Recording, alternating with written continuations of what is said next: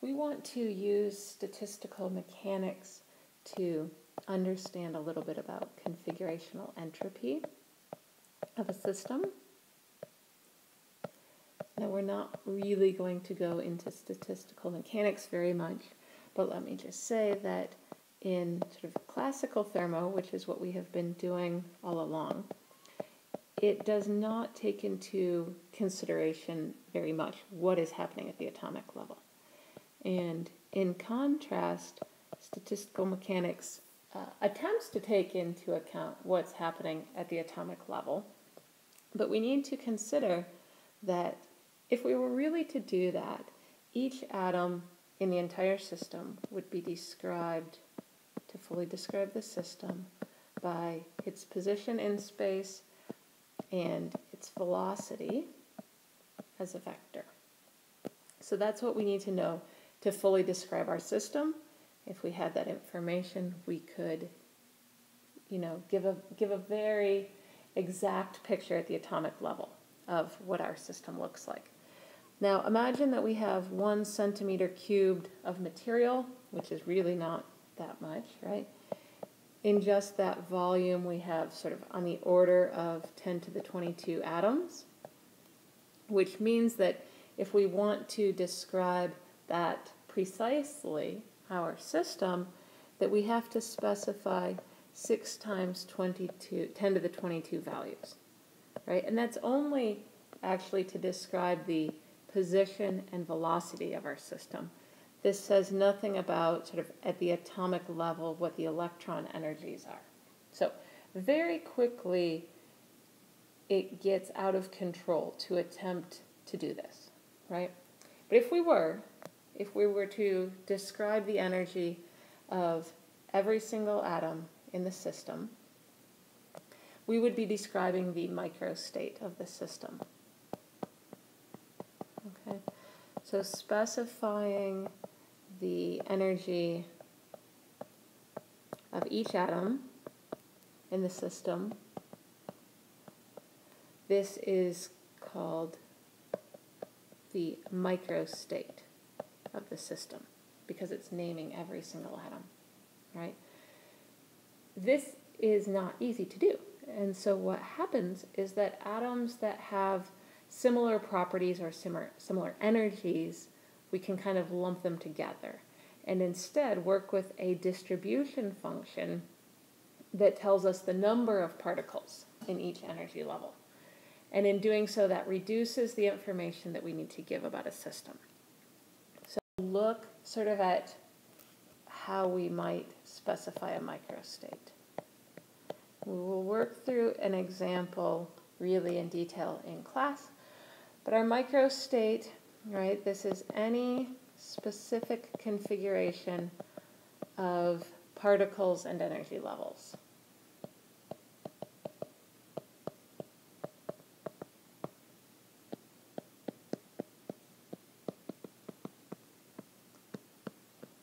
So let's imagine a very simple system where we have two energy levels, epsilon 1 and epsilon 2, and we have four particles who I will name A, B, C, and D in this system.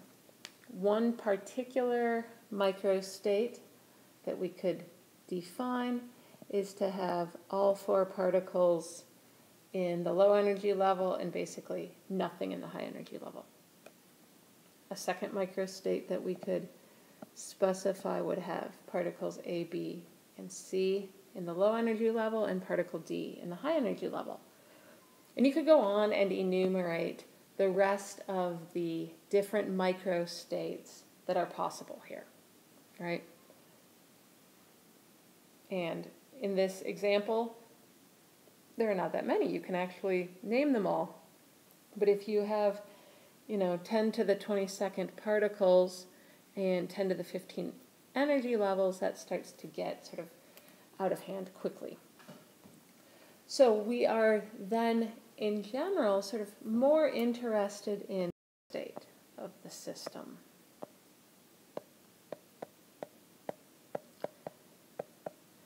And as we describe a macro state, the thing to know is that we don't really care which particle is where, we only care how many of the particles are where. So this is a more general description.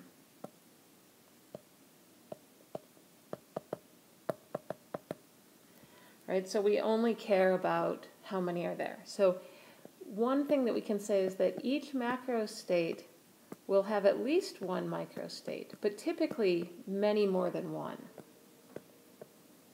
So this has greater than or equal to one microstate in it. So if we think about our example from the previous slide where we had uh,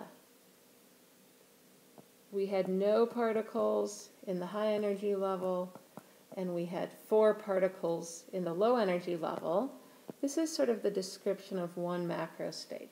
And this actually only has one microstate, right, that matches up with it. We looked at a different microstate, which had A, B, and C in the low energy level and D in the high energy level. So here we have one particle in the high energy level and three in the low energy level. This is another macro state, but this is only one of several micro states that matches up to this macro state, right? We could actually have A up here or B or C or D. So there's four different microstates in this macrostate. If we want to know how many microstates there are for a given system, we can do that. And the way that we do so is that we take the number of energy levels that there are and we raise that to the power of the number of particles. So in our example that we've been doing, we have two energy levels and we have four particles. That tells us there are 16 possible microstates.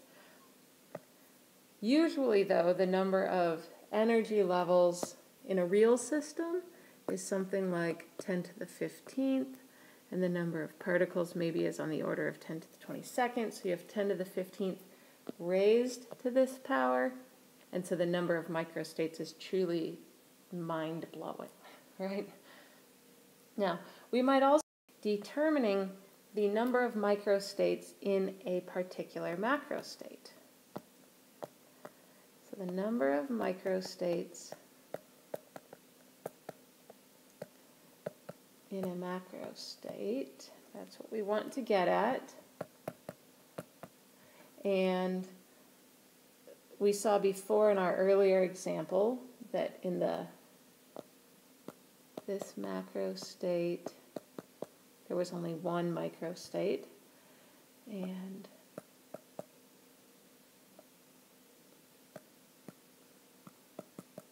In this macro state, were four microstates. So this variable, we're going to call this thing, the number of microstates in a macrostate, we're going to call this capital omega. And capital omega is going to depend on the total number of particles in the system, factorial. So this is the number of particles in the system.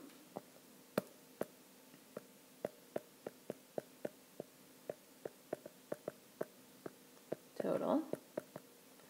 And then for the denominator, we have the number of particles that are in our first energy level, factorial, the number of particles that are in our second energy level, factorial, on and on until we get to our, our energy level, factorial. So in the earlier example, we had only two energy levels, so we would have only these two terms in the denominator. So that's how we can find how many microstates are in a macrostate. It turns out that out of all of the macrostates that are possible, one of them will have an omega much, much bigger than all of the others. So of all possible macrostates,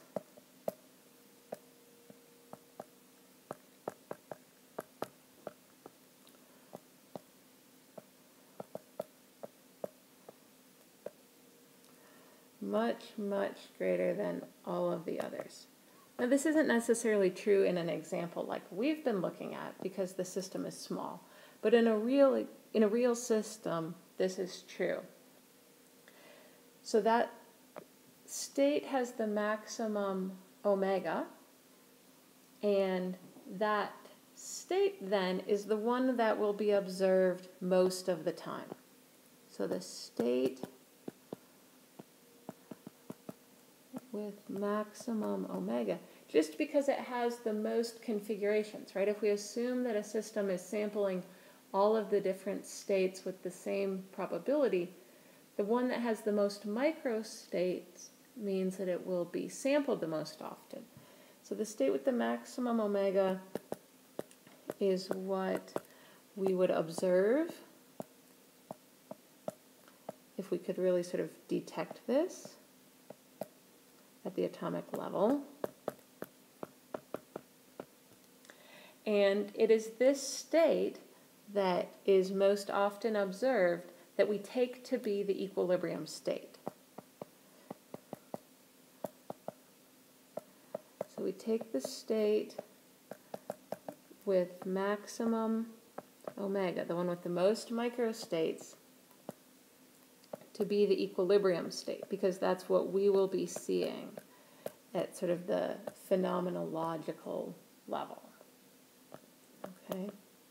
So we can now connect this, this idea of, so we know that at equilibrium, right, that from the statistical mechanics perspective, equilibrium is when we have the maximum omega. From the sort of bulk or phenomenological level, we know that equilibrium is with the maximum entropy. So we can then connect those. And this is was done by Boltzmann, and we use what is called the Boltzmann hypothesis here. And Boltzmann observed that while omega could vary over many orders of magnitude. S doesn't actually vary over many orders of magnitude. And so Boltzmann hypothesized that the configurational entropy is equal to K, the Boltzmann's constant, times ln of omega. Okay, now it's important to note here that this S is only the configurational entropy. So this is the entropy due to either how the atoms can arrange themselves in the energy levels or sort of how they can arrange themselves in space. It does not take into account things like the um, nuclear energy levels. Okay, so this is the configurational entropy. The more microstates we see, the higher the entropy of the system.